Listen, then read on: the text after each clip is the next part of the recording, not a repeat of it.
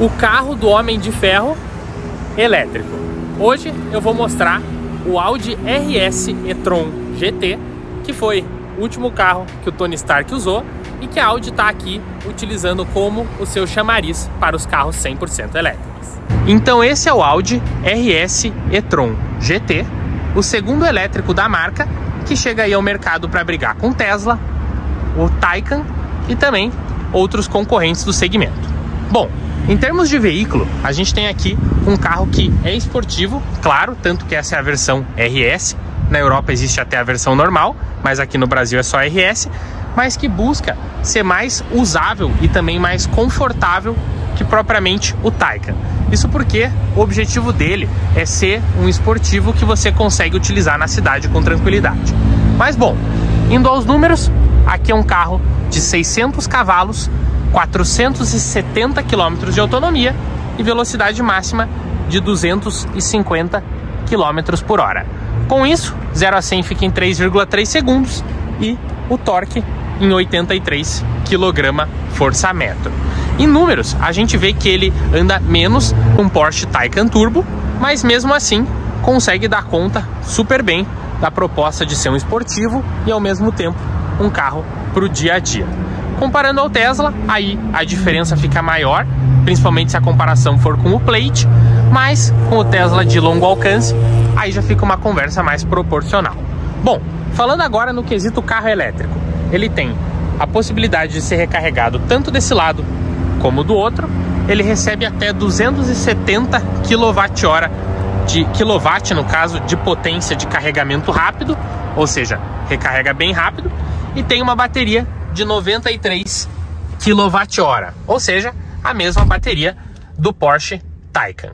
Com isso, ele tem o objetivo de você chegar aos 470 km de autonomia, mas em menos de 30 minutos você conseguir recarregar até os 80%. Então, a ideia é justamente facilitar nesse ponto. Mas bom, vamos falar um pouco aqui do interior dele e dos destaques aqui de dentro.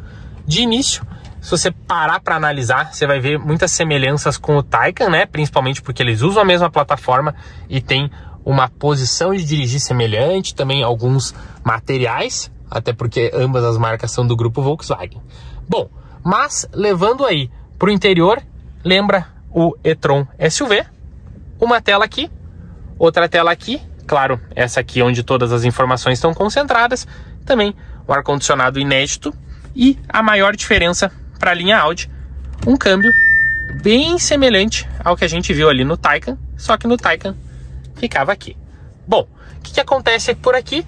O objetivo é você conseguir utilizar o carro de modo esportivo e modo confortável, tem ajuste de suspensão, vários modos de tela aqui também e você consegue configurar também o carro na câmera 360 graus. Ou seja, ele tem como foco juntar todas as qualidades dos Audi, mas dentro de um elétrico. Falando um pouco aqui do interior, os bancos vermelhos, bem semelhantes ao que a gente viu no Taycan, e até você fica bem bonito dentro do carro, e com o teto solar panorâmico fixo, então a gente tem sim um, um requinte muito grande aqui por dentro. Veja o teto aqui todo em alcântara e os bancos com desenho esportivo, o que no caso do Tesla a gente já não havia visto. Bom, mas e aí? Vamos falar um pouco do carro quesito elétrico. Como que é?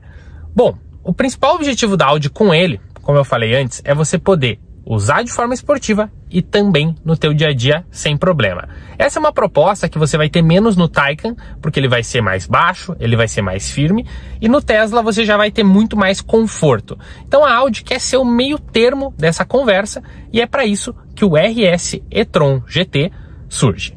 Vou mostrar mais alguns detalhes atrás, ali no porta-mala, e daí a gente conclui sobre o veículo. Então aqui saindo, o belo desenho do carro, claro, portas aqui sem os arcos. E quando a gente vem para trás, um espaço que, claro, é um pouco travado, mas focado aí justamente num sedã esportivo.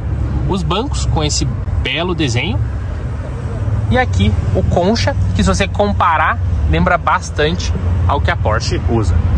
Falando em termos de porta-mala, ele, por mais que tenha uma carroceria caída, aí focada na aerodinâmica, quando você abre ele, na hora de abrir o porta-mala, você vê que o bocal ele é só essa parte. E aqui você tem até um espaço interessante, tá com a capa dele ali, mas não levanta toda a traseira como o desenho dá a entender. Muito bem, aqui reforçando, né? Belas rodas com bastante com vários raios justamente para ela ser o mais fechada possível e o mais ecológica possível, né, em termos de eficiência, etc. E aí quando você analisa o carro, a bateria vai ficar aqui no assoalho, puxando bastante o centro de gravidade para baixo e claro, ajudando muito o carro aí no autódromo, numa pista. E no final do dia, para ter o melhor desempenho possível dentro desse desenho. Bom, pessoalmente falando, não dá para negar, né? O carro é muito bonito, toda essa silu silhueta aqui que desce até lá embaixo. E em termos de personalidade, ele parece até mais interessante aí que o Taycan e que os modelos da Tesla. E por final, falando um pouco de desempenho, 0 a 100 em 3,3 segundos, 250 km por hora de velocidade máxima e 83 kgfm de torque. No caso, a gente não conseguiu ainda dar uma volta nele, porque o carro aqui está sem seguro, a quilometragem, quilometragem é muito baixa, mas em outra oportunidade, claro, que ele vai vir aparecer andando aqui no canal. Mas bom, me conta de você um pouco agora. Qual seria a sua opção?